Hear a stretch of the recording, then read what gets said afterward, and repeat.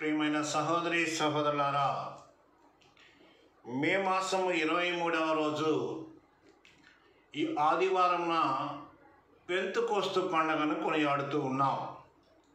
ఈ మరియమాత పూజిత మాసంలో వచ్చినటువంటి పెంతుకోస్తు పండుగని ఈరోజు మనము కొనియాడుతూ ఉన్నాం.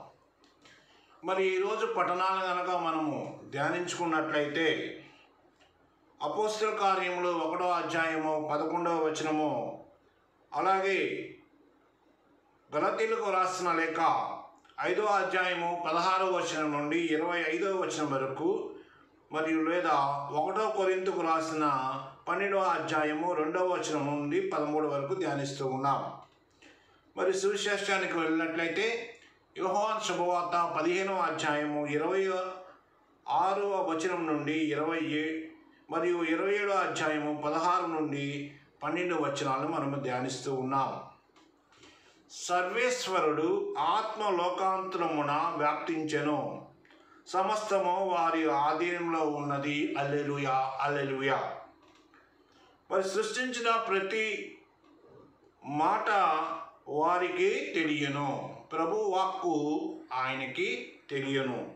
కాబట్టి ఈ పెంతకొస్తు మహోత్సవం జరుపుకుంటున్న మనందరికీ పవిత్రాత్మ శక్తి శిష్యులపైకి వేంచేసి వచ్చినప్పుడు మరి వారి మీద అగ్ని జ్వాలలు నాలుకల రూపంలో వ్యాపించి ఒక్కొక్కరి పైన నిలిచినట్లుగా మనము సువిశేషంలో చదువుకుంటూ ఉన్నాం.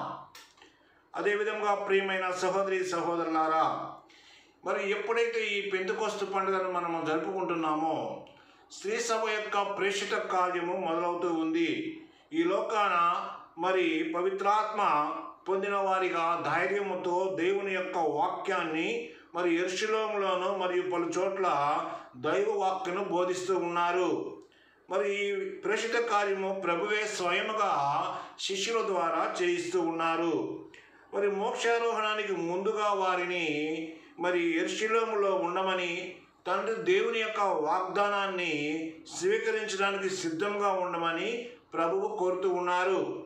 కాబట్టి దాని నిమిత్తము శిష్యులందరూ కూడా మరి మర్యాదలతో కూడా కలిసి ప్రార్థనలో మరి ఒక గదిలో కూర్చున్నారు. మరి ఆ సమయంలో శ్రీసభ మరి జన్మ మహోత్సవము కూడా జరుగుతుంది.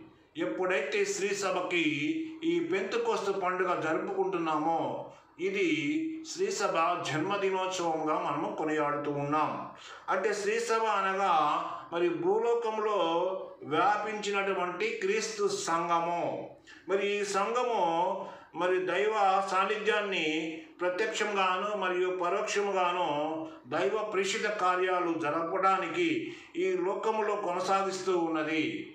అంటే ప్రభువు తన శిష్యులకు దర్శనమిచ్చినప్పటి నుండి మరియు మరి ఈ యొక్క రెండు అనుగ్రహాలను దయచేస్తూ ఉన్నారు. ఏంటది? శాంతి మరియు పాపమన్నింపు. ఆయన వచ్చినప్పుడు మీకు శాంతి కలుగునగాక అని మాత్రమే దీవిస్తూ ఉన్నారు. అదేవిధంగా శిష్యులకు పాపాన్ని మన్నించేటువంటి అధికారాన్ని ప్రభు ఇస్తూ ఉన్నారు. మరి పరిశుద్ధాత్మ మరి పవిత్ర శక్తితో మరి వారు నిలబడిన చోటనే అనేక అద్భుత కార్యాలు చేస్తూ ఉన్నారు. అంటే పవిత్రాత్మ వారికి క్రీస్తు శిష్యులుగా మరి వారిని అభిషేకిస్తూ ఉన్నది అంటే పవిత్రాత్మ వారికి క్రీస్తు సందేశం తెలియపరుస్తూ ఉన్నది. మరి అపోస్తుల కార్యములు రెండో అధ్యాయము ఒకటి నుండి పదకొండు వచనాలు ధ్యానిస్తున్న మనము పవిత్రాత్మ రాకడ మరియు మరి ఎప్పుడైతే పవిత్రాత్మ వచ్చిందో వారు భయభ్రాంతులకు గురి అవుతూ ఉన్నారు. అంటే ఆ పవిత్రాత్మ రాకడ ఎప్పుడైతే వారికి జరిగిందో ఆ క్షణం నుంచి వారిలో ఒక నూతన ఉత్సాహాన్ని చూస్తూ ఉన్నాం. వారి యొక్క రూపాంతరం చెందుతూ ఉన్నారు. ప్రభు శిష్యులు మరి సువార్త బోధనకు సిద్ధపడుతూ ఉన్నారు. మరి ఈ పెంతకోస్తు పండుగ రోజునే మరుగు యూదులు ప్రధానంగా మూడు పండుగల్లో ఇది రెండవ ముఖ్యమైన పండుగ.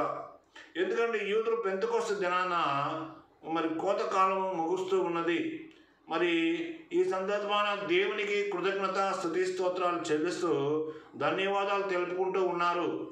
అదేవిధంగా ఈ ఉత్సాహాన్ని పాస్కా పండుగ తర్వాత మరి ఏడు వారాల తర్వాత వారు జరుపుకుంటూ ఉన్నారు. కాబట్టి ఈ దినాన్ని గోధుమ పంట ప్రథమ ఫలాలని దేవునికి అర్పించేటువంటి దినము. అంటే యూదులకి ఇది చాలా ముఖ్యమైనటువంటి పండుగ. అలాగే ఈ దినము దేవుడు మరి సీనాయి పర్వతం పైన మోషేకి వసగబడినటువంటి చట్టాలను గుర్తుంచుకొని మరి ఈ ఉత్సవాన్ని కొనియాడుతూ ఉన్నాం.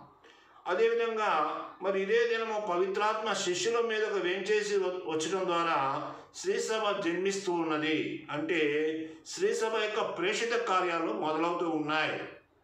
ప్రేమైన సహోదరి సహోదరులారా మరి యోహాన్ శుభవార్త మరి ఇరవై అధ్యాయము పంతొమ్మిదవ వచనం నుండి ఇరవై మూడవ వచనం వరకు మనం చదివినట్లయితే శిష్యులు పవిత్రాత్మ క్రీస్తు ఉత్థానమైన రోజే పొందుకున్నారు అయితే మరి తర్వాత సమయంలో మరి యూదుల వలన భయం పొందటం వలన వారు ఒక గదిలో వారిని వారిని బంధించుకుంటూ ఉన్నారు. అంటే యేసు వచ్చి వారి మధ్య నిలబడి మీకు శాంతి కలుగునగాక అని మరి పలుకుతూ ఉన్నప్పుడు నా తండ్రి నన్ను పంపినట్లే నేను మిమ్మల్ని పంపుతున్నానని చెప్పి ప్రభు వారికి చెప్తూ ఉన్నారు. మీరు ఎవరి పాపాలైతే క్షమిస్తారో వారు పాపాలు క్షమించబడతాయి. మీరు ఎవరి పాపాలు క్షమించరో వారు పాపాలు పరలోకంలో కూడా క్షమింపబడని ప్రభు చెప్తూ ఉన్నారు. ఆ విధంగా మరి ఈ పట్టణాలు కనుక మనం చూసినట్లయితే మరి క్రీస్తు ప్రభువు ఈ యొక్క పెంతుకోస్తు పండుగ రోజున శిష్యులకి రెండు వరాలను దయచేస్తూ ఉన్నారు. ఒకటి పాప మన్నింపు రెండు పవిత్రాత్మ శక్తి. తద్వారా వారు చేసేటువంటి అనేక అద్భుత కార్యాలు. కాబట్టి ఈరోజు మరి గల్తీలకు రాసిన లేక ఐదో అధ్యాయము పదహారో వచనం నుండి ఇరవై ఐదో వచనం కనుక మనం చూసినట్లయితే పౌలు గారు జ్ఞానస్నానం ద్వారా పవిత్రాత్మని మరి శక్తిని పొందినట్లుగా మనము చూస్తూ ఉన్నాం. అంటే జ్ఞానస్నానం ద్వారా మన యొక్క ఆత్మని తిరిగి మనము బతికించుకుంటూ ఉన్నాం. పుట్టినప్పుడు మనం అందరము కూడా పసిబిడ్డలుగా అందముగా పుడుతూ ఉన్నాం. కానీ మన ఆత్మ జన్మ పాపము చేత అశుద్ధమై ఉన్నది. కాబట్టి ఆ ఆత్మని శుద్ధి చేసుకోవాలి. ప్రతిరోజు దేహానికి ఏ విధంగా స్నానం అవసరమో మరి ఆత్మకు కూడా స్నానము అవసరము. అందుకే మొట్టమొదట జ్ఞానస్నానం ద్వారా మన ఆత్మని శుద్ధి చేసుకుంటూ ఉన్నాం. మరి తర్వాత మన ఆత్మని శుద్ధి చేసుకోవడం ఎలాగా? ఇదిగో ఈరోజు పాప పొంతికోస్తు పండగ రోజున ప్రభు ఇచ్చిన సాంగ్యము పాప మన్నింపు. ఈ పాప మన్నింపు ద్వారా మళ్ళా తిరిగి మన ఆత్మల్ని శుద్ధి చేసుకుంటూ ఉన్నాం. కాబట్టి పవిత్రాత్మ అనేది మరి దాని యొక్క పని ఏమిటి అంటే మనల్ని పాపం నుండి దూరముగా తీసుకొని పోవటం పుణ్య మార్గం వైపు నడిపించడం ఈ పవిత్రాత్మ శక్తి వరాలు మనపై కురేయాలని ఆ దేవాది దేవుని యొక్క ఆశీర్వాదాలు మనందరిపైన ఉండాలని ఈ పెంతుకోస్తు పండుగన మరి పవిత్రాత్మ మనతో వాసమై ఉండాలని మరి మరియమ్మ గారిని అలాగే దేశనాథ స్వామిని వేడుకుంటూ మరి మరియమాత మరి పూజిత మాసంలో ఆ తల్లి యొక్క దీవెనలు దండిగా మెండుగా ఉండాలని మరి ప్రతి ఒక్కరికి మంచి ఆరోగ్యం దయచేయమని మరి ప్రభు అయిన యేసుక్రీస్తు నామమును అడిగి వేడుకొనుచు ఈ యొక్క వాక్యాన్ని విన్న మీ మిమ్మల్ని నన్ను అందరినీ కూడా ఆ ప్రభు దండిగా మెండుగా దీవించాలని పితా పుత్ర పవిత్రాత్మ నామమున అడిగి వేడుకొనుచున్నాము. ఆమె